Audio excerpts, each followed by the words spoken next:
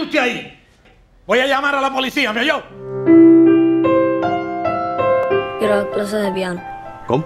Que si tú me puedes pagar unas clases de piano. ¿De dónde sacaste el dinero que dejaste arriba de la cama? ¿Qué es lo que tengo que entender, Esteban? ¿Que estoy criando un, un- un ladrón, un indisciplinado? ¿Es eso?